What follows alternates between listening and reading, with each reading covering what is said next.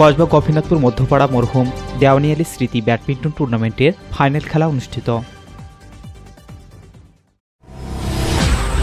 আপনারা দেখছেন M K television.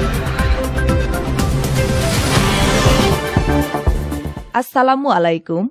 এমকে টেলিভিশনের নিয়মিত খেলার সংবাদে আপনাদের স্বাগত জানাচ্ছি। আমি শিউলি এখন ডেস্ক থেকে বিস্তারিত।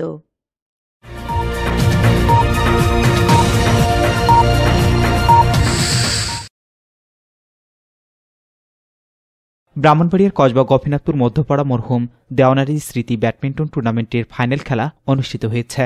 বৃহস্পতিবার রাতে গোপীনাথপুর মধ্যপাড়া উদয়ন একাডেমি প্রাঙ্গণে অনুষ্ঠিত খেলায় সভাপতিত্ব করেন Titas gas, transmission and distribution Dhaka এর উপব্যবস্থাপক Lokman Hossain. Gopinathpur Madhyapara zero point market কর্তৃক আয়োজিত টুর্নামেন্টের ফাইনাল খেলায় আখাউড়া টনপাড়া ব্যাডমিন্টন দলকে দুই শূন্য সেটে পরাজিত করে চ্যাম্পিয়ন হয় টনকি ব্যাডমিন্টন দল।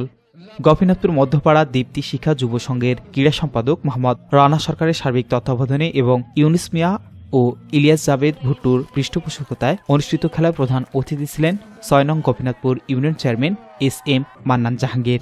Final খেলায় উদ্বোধক হিসেবে উপস্থিত ছিলেন গোপীনাথপুর আলহাজ শাহ আলম বিশ্ববিদ্যালয়ের অধ্যক্ষ মোহাম্মদ আকরাম খান। খেলায় বিশেষ অতিথি হিসেবে অন্যান্যদের মধ্যে বক্তব্য রাখেন এক নং ওয়ার্ডের মেম্বার মোহাম্মদ জাকির হোসেন, সাবেক member Mohammad Shah Alam, advocate Abul Kalam Azad Moniand union Parishad ছয় নং ওয়ার্ডের মেম্বার রেজাউল ইসলাম ভুইয়া সহ আরও অনেকে।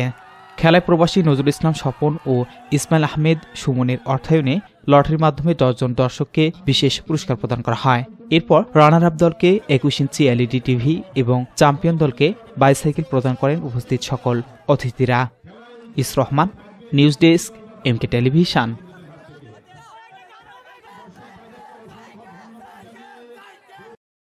দর্শক এমকে টেলিভিশন সংবাদে বিস্তারিত জানতে ভিজিট করুন W dot MK television dot net এই ঠিকানায়।